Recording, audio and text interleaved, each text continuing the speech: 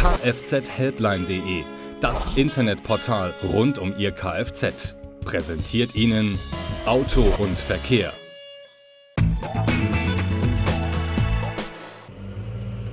Jeder Autofahrer sollte sich bei diesen Bildern einmal hinterfragen.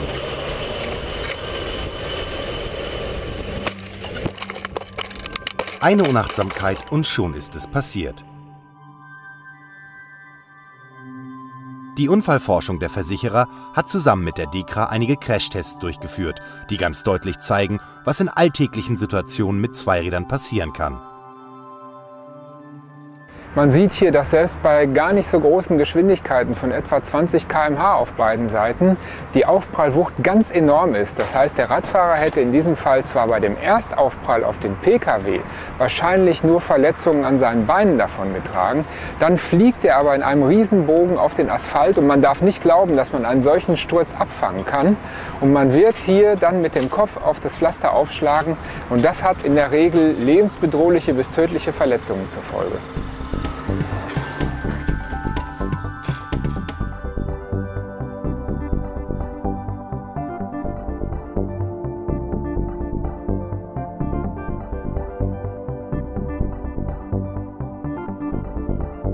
Das sind Bilder, die jeden Zweiradfahrer anstoßen sollten, zumindest einen Helm bei jeder Fahrt aufzusetzen. Denn selbst mit kleinsten Geschwindigkeiten verliert der menschliche Körper gegen Autotüren, Motorhauben und A-Säulen. Die Folgen könnten dann ins Unermessliche steigen. Der Helm äh, schützt einen natürlich auch nicht immer und zu 100 Prozent.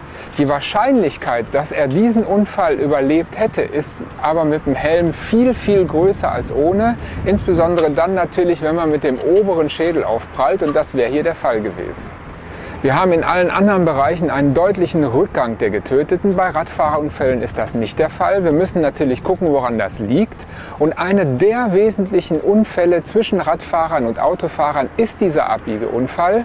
Und gegen den kann man natürlich was tun. Dafür müssen wir aber wissen, wie er abläuft. Gefahrensituationen treten plötzlich auf, meistens ohne Vorwarnung. Um schnell und vor allem richtig zu reagieren, braucht es eine Menge Glück aber auch das Wissen, wie man es richtig macht. Autofahrer müssen vor allen Dingen sich darüber klar sein, welche Masse sie da bewegen und wie verletzlich Radfahrer sind. Und das heißt, dass sie beim Abbiegen lieber zweimal oder dreimal schauen, ob sich irgendwo im toten Winkel, ob sich irgendwo im Bereich der B-Säule ein Radfahrer versteckt hat. Und das kann man nur wissen, wenn man langsam fährt und zwei oder dreimal guckt.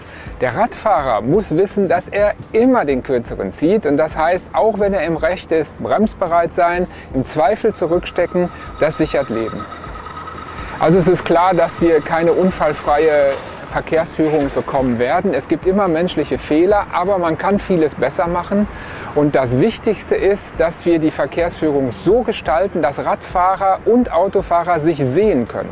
Und das heißt in aller Regel, der Radverkehr muss auf der Straße geführt werden, beispielsweise mit einem Radfahrstreifen, der abmarkiert ist. Dann haben wir einigermaßen Sicherheit. Selbstüberschätzung ist bei vielen Autofahrern ein ständiger Begleiter, ob bei Fahranfängern oder langjährigen Vielfahrern. Bei allen sollte das Bewusstsein gestärkt und vor allem auch sensibilisiert werden, dass immer und auch zu jeder Zeit etwas Unvorhergesehenes geschehen kann.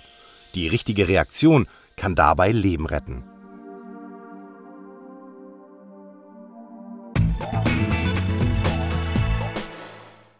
kfzhelpline.de das Internetportal rund um Ihr Kfz. Präsentierte Ihnen Auto und Verkehr.